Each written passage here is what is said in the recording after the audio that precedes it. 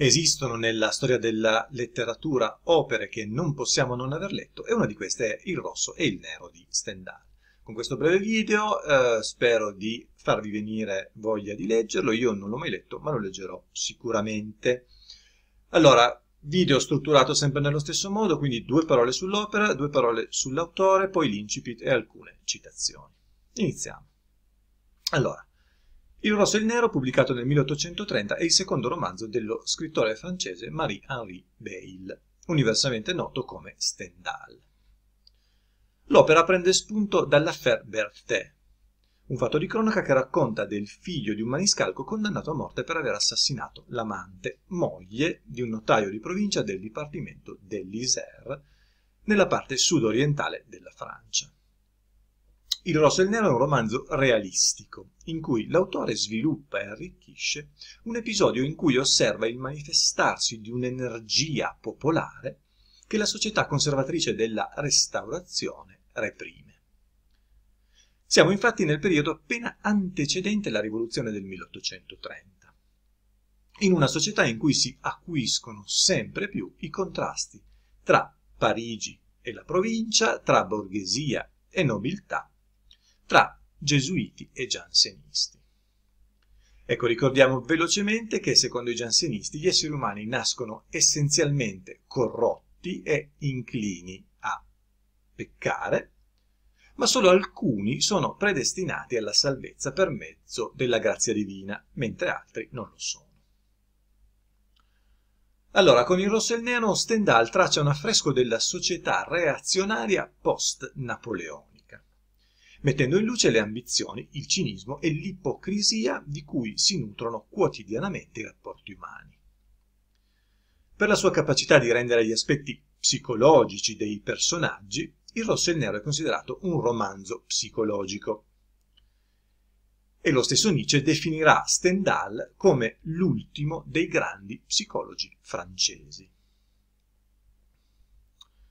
Allora, il il, simbo il, simbolismo contenuto nei colori del titolo, quindi rosso e nero, ci aiuta a comprendere i significati multipli del romanzo. Allora, il rosso evoca il sangue del crimine, la passione, che si lega quindi al nero del dolore e della morte. Nero, però, è anche il colore dei vestiti del, da seminarista del protagonista Julien Sorel mentre rosso è il colore degli abiti dei militari, carriera eroica verso cui Julien cova un'ambizione segreta ma che non potrà seguire. Un'altra interpretazione dei due colori è il rosso della rivoluzione francese che troviamo nel tricolore oppure nel sangue versato sulla ghigliottina e il nero della restaurazione a essa succeduta. Nuovamente nero è appunto il colore delle tonache dei preti la tragedia del protagonista è proprio quella di essere nato troppo tardi, in un momento in cui a un giovane ambizioso e intraprendente, ma di origini plebee, si aprono pochissime prospettive di affermazione sociale. Bene, passiamo all'autore. Allora, Marie-Henri Beyle, noto come Stendhal, nasce a Grenoble il 23 gennaio del 1783 e muore a Parigi il 23 marzo del 1842. È stato uno scrittore francese i cui romanzi, volti alla ricerca della verità psicologica dei personaggi, ne fanno uno dei maggiori rappresentanti del romanzo francese del XIX secolo. I suoi protagonisti sono giovani romantici e appassionati, spinti da un forte desiderio di gloria. Grande amante dell'arte, Stendhal vivrà a lungo in Italia, dove nel 1817 pubblica due opere, la prima intitolata Storia della pittura, pittura in Italia e la seconda Roma, Napoli, Firenze nel 1817 e si tratta di un libro di ricordi e di impressioni sul periodo vissuto dall'autore nelle tre città. Quest'ultimo libro viene firmato per la prima volta con lo pseudonimo di Stendhal, probabilmente ispirato alla città tedesca di Stendhal, quindi senza l'H, dove era nato l'ammirato storico e critico d'arte Johann Joachim Winkelmann. Molto bene, l'incipit adesso e poi le citazioni. La città di Verrières può dirsi una delle più graziose della Franche-Comté. Le sue bianche case dai tetti di tegole rosse sorgono sul fianco di una collina boscosa ai cui piedi scorre il Doubs. L'alta montagna che la protegge da nord fa parte del sistema del Giura. Citazioni. A Parigi la condizione di Julien di fronte alla signora Renal sarebbe in breve divenuta molto semplice, ma a Parigi l'amore è figlio dei romanzi. Un'altra. L'amore cerebrale ha certo più spirito che l'amore vero, ma ha solo alcuni momenti d'entusiasmo. Conosce troppo sé medesimo, si giudica continuamente lungi dal liberarci dal pensiero, non è esso stesso costruito d'altro che di pensieri. Molto bella questa secondo me, quindi l'amore cerebrale versus l'amore quindi passionale, quindi l'amore cerebrale che ragiona troppo su se stesso, quindi conosce troppo se stesso e quindi diciamo lascia poco così al mistero e all'immaginazione.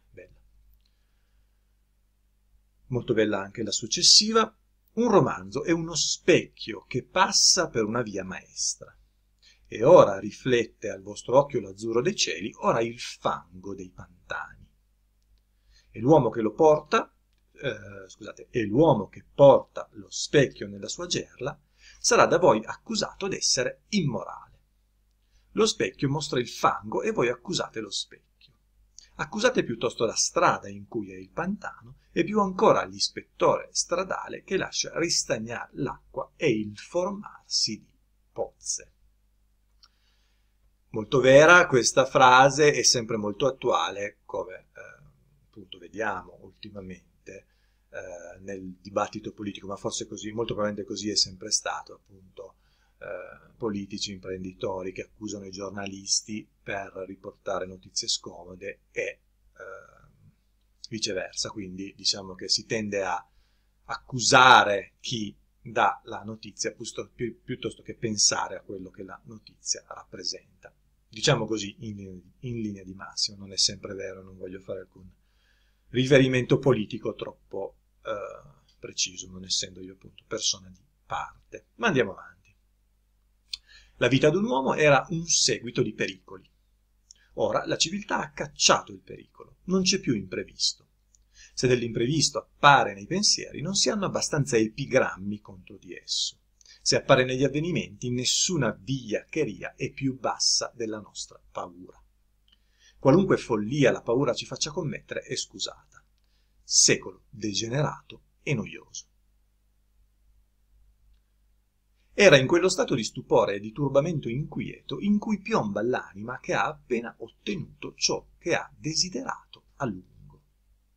Abituata a desiderare, non trova più niente da desiderare, mentre non ha ancora dei ricordi. L'aria malinconica non è di buon gusto. Ecco, scusate se mi interrompo, questa secondo me, secondo me è molto bella. Riparto. L'aria malinconica non è di buon gusto. Ci vuole l'aria annoiata. Se siete malinconico è segno che qualcosa vi manca, che non siete riuscito in qualche cosa. È un segno manifesto di inferiorità. Invece se siete annoiato è inferiore ciò che ha cercato vanamente di piacervi. L'ultima? No. Le persone che il mondo onora non sono che delle canaglie che hanno avuto la fortuna di non essere colte in flagrante. Bene, molto interessante quest'ultima, non sempre vera, ma spesso sì, secondo me. Bene, questo è tutto per questo episodio di Non puoi non saperlo dedicato a Il rosso e il nero di Stendhal. Come accennato spero con questo video di eh, avervi fatto venire voglia di leggerlo e il video termina qui. Fatemi sapere cosa ne pensate. Ciao a tutti e alla prossima.